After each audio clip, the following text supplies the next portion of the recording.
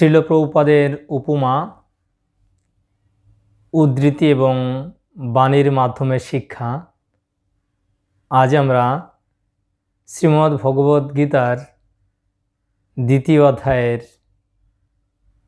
একুশ সংখ্যক শ্লোকের তাৎপর্যে শিলপ্রভুপাদ একটি খুব সুন্দর উপমা উনি প্রদান করেছেন। আমরা কখনো কখনো চিকিৎসক ডাক্তারের হাতে ছুরি দেখতে পাই। একই ছুরি আমরা আবার কোনো ডাকাতের হাতে, কোনো ক্রিমিনালের হাতে আমরা দেখতে পাই। কিন্তু ডাক্তারের হাতে ছুরি এই ছুরি হচ্ছে রোগীকে অপারেশন করে সুস্থ করার জন্য। ডাক্তার ছুরি ব্যবহার করেন, রোগীকে অপারেশন করে, অস্ত্রোপচার করে তাকে সুস্থ করার জন্য। সেই ছুরি দিয়ে ডাক্তার রোগীকে হত্যা করার জন্য সেই ছুরির ব্যবহার করেন না। তাই ডাক্তারের হাতে ছুরি থাকা এটা অপরাধজনক নয় বা সেই ছুরি দিয়ে তিনি রোগীকে হত্যা করেন না। অর্থাৎ ডাক্তার রোগীকে অপারেশন করেন, তাকে বাঁচিয়ে তোলার জন্য, সুস্থ করার জন্য, তাকে হত্যা করার জন্য না, তেমনি ভগবান শ্রীকৃষ্ণ যখন যুদ্ধ করার আদেশ দেন, সেই আদেশ মানব জাতির জন্য মঙ্গলজনক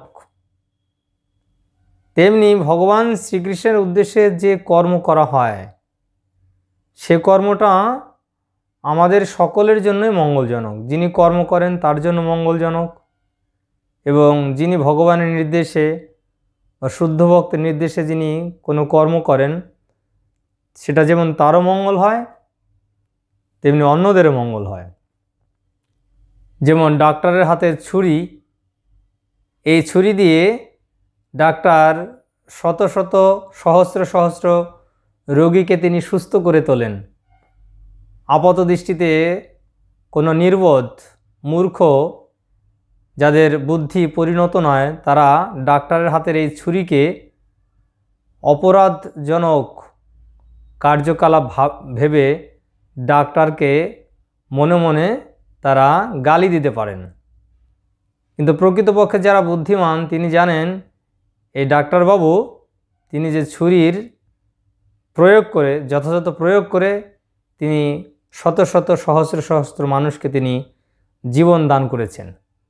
তেমনি ভগবান শ্রীকৃষ্ণ একজন দক্ষ চিকিৎসকের মতো সমস্ত মানবজাতির মঙ্গল সাধন করার জন্য কখনো কখনো অর্জুনের মতন মহান ভক্তকে তিনি যুদ্ধ করার আদেশ দেন।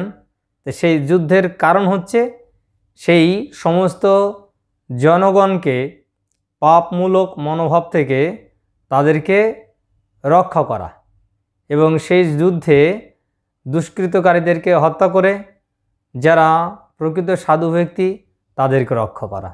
তাই শ্রীলপ্রভুপাদ এই ভগবদ্গীতার দ্বিতীয় অধ্যায়ের একুশ নম্বর শ্লোকে উনি ডাক্তারের হাতের ছুরি অর্থাৎ শল্য চিকিৎসক অস্ত্রোপচার করেন রোগীকে সুস্থ করার জন্য।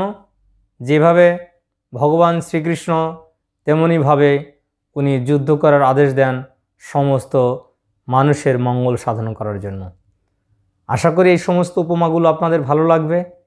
নিয়মিতভাবে শ্রবণ করুন এবং অন্যদের শেয়ার করুন এবং চ্যানেলটিকে বেশি করে সাবস্ক্রাইব করুন। গোপীকান্ত দাস, এই চ্যানেলটি এবং আবারও দেখা হবে আপনাদের সঙ্গে। ততক্ষণ সকলে ভালো থাকুন সুস্থ থাকুন। হরে কৃষ্ণ।